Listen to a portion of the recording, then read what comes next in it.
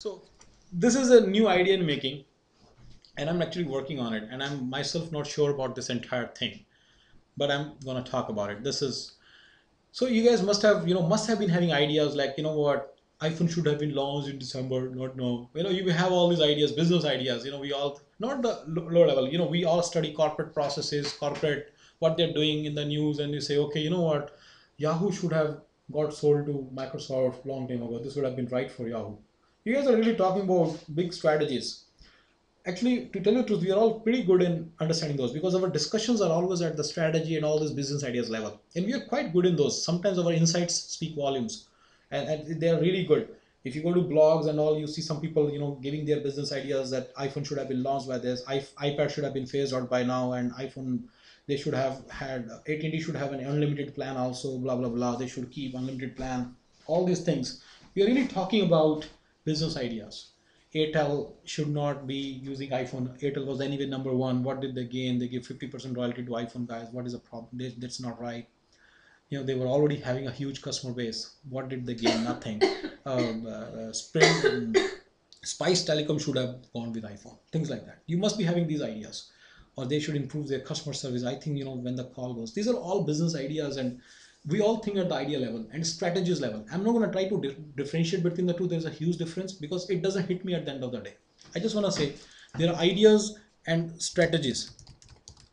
These are typically thought of by VPs, directors, big guys, and I, that's what sometimes I funny like mockingly say, you know, you know, we are all born CEOs. you know, we can think like a CEO quite fast. You know, so uh, so so ideas and strategies is, is one thing. But what happens is it starts to hit us when they start conceiving the processes. They start to come up with a process to implement their ideas. To implement their ideas and the implementation that they have is also an, a process. Like they say, okay, we want to have this process that when customer comes in, someone should greet him. Then we should do, do this, take this information, then do this, then sell him this thing. This is entire process. Someone's strategy is working right? Someone says, thinking, okay, what we should have is, okay, iPhone should be launched in July. So we, basically we should start the production in this month. We should start the customer service training in this month. We should have better system. We should have product setup done and we should have merger with AT&T, all those things. These are all processes. Now merger with AT&T, like, sorry, partnership with AT&T is a process. You know, we should assign this five people team. They should go there. There will be like back and forth discussion. This particular process is not tracked in Siebel, but there are many processes that they would conceive especially the customer facing processes that would be eventually getting tracked in a CRM system or in Siebel. For example, for iPhone, what we'll have is we'll have a special uh, portal. When people go there, they'll only see iPhone. That's only there's only one thing to buy. I'm just giving you a new idea. I don't think there is an idea like this. They'll click there, they'll go there, and there's only one thing to buy. They'll click on it. Funny things. So it will pull all this information, you know, and then it will basically the product will be shipped to you quite fast, like within a day or something. Something like that. So this is a CRM system they are conceiving. They will conceive multiple such systems. Some of those systems will be hitting Siebel world. Like they might say, okay, you know, we have to push iPhone to corporates also. It's gonna push Siebel very heavily now. Like a system like CRM very heavily because Siebel's CRM like uh, very heavily because Siebel is used by companies, by, by, by, by AT&T, um, uh, Siebel is used is used to manage big customers. So if AT&T plans to you know use iPhone and push iPhone to big corporates, that means they have to use Siebel, like a CRM like Siebel, because the cycles will be long now. It won't be someone comes to your doorstep and website and you know hits it and buys it and goes. It's like you'll be going there and making you know presentations, how it add value. Then you'll be basically getting getting orders like 3,000 iPhones or 3,000 lines, right? So you're gonna be maintaining a, the relationship with these customers where you know, you know like a lot, and you'll be doing a lot of work, groundwork before you basically pitch your product, things like that. The point is, there is a this is process is what you have started to think. Processes are are are, are supported by systems.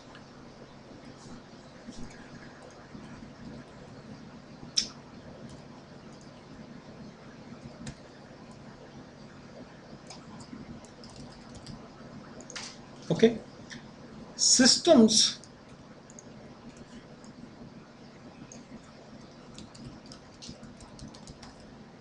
have functionalities.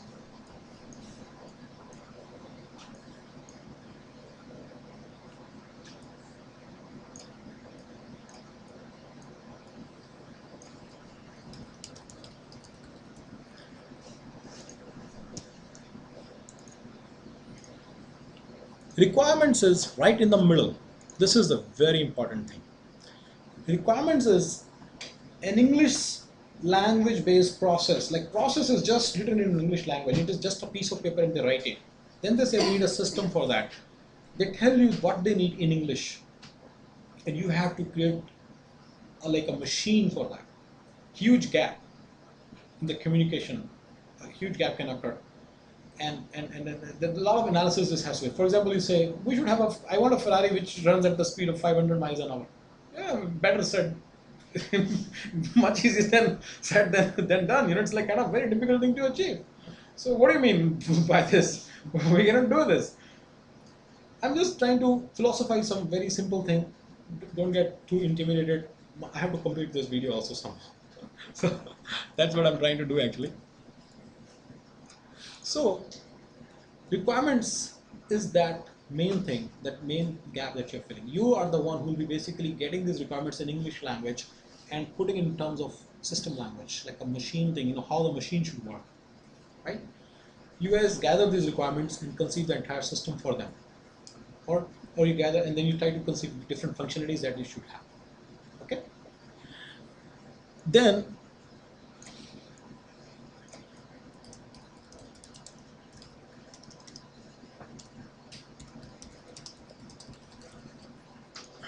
this is I'm going to keep it like this because this is that much it matters only this much to us only. It is as small for us. Technicalities of system. The way technically it will be designed the way technically it will work we don't care. Okay? Whenever you guys are giving examples you will realize you guys will be making the mistake of jumping from process to system to functionalities. When when a person is articulating a person who has no experience is articulating he's basically making this mistake he's not able to relate the strategy to process to systems to functionality. He will talk about functionality and immediately jump and talk about some strategy. You see?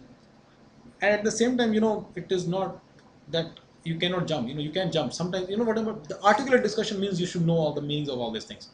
But when we are discussing, we'll try to th think from all these angles. From a system perspective, how will it look like? To me, system functionalities are like kind of similar thing, functional perspective.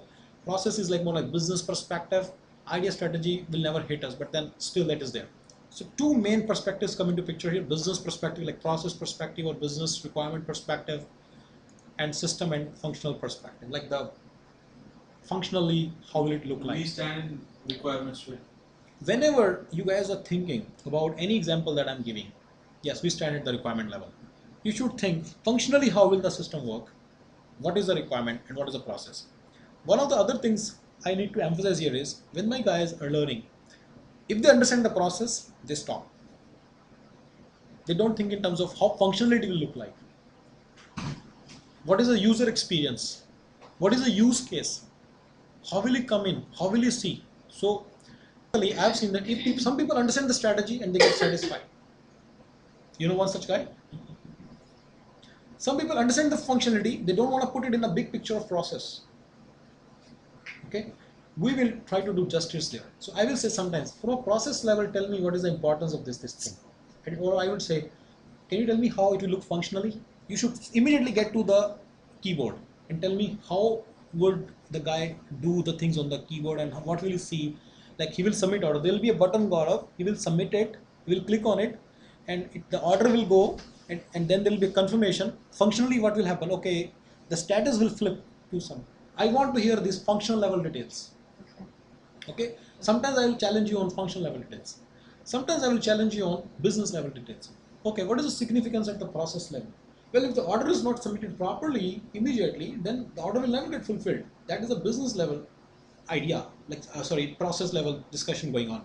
So, what is the importance of uh, submitting it is immediately? Well, if it's not submitted immediately, then we'll lose time. Customer will receive it late so I can have a discussion when we understand process level, function level. Let's say you say something, I will immediately challenge. Can you tell me at the function level how it will look like? You should know what I'm talking. Immediately get to clicks and see, click, see, click, see this, click, this is what I get, I click this, I see this. See? Sometimes we talk from the process. Okay? And then we say, okay, change the level. Tell me from a process standpoint, what is the difference? For example, querying, very functional thing. But what is the importance of query from a process standpoint? So many guys are bringing a lot of knowledge of the systems to the table. You guys have used system, you have used system.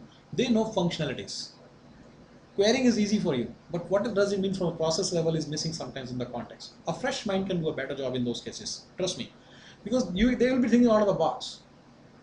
They might say, you know what, querying basically helps in retrieving records. If I've entered something, I want to see it later. I want to I want to see what I entered, and and I want to get to it. That's the way. That, that's how query will work. I want to hear this thing. I want to hear this thing. If you think you've done a good job by saying that querying query करते हैं ना वो record आते हैं that won't serve my purpose. So then I say, okay, tell me one thing. Can you explain query from a functional perspective? Basically, you click query, there's a query button, you click query, immediately a blank row comes. You can enter the parameters and the values that you need. For example, last name is equal to Stuart. Then system will show the results wherever the last name is Stuart.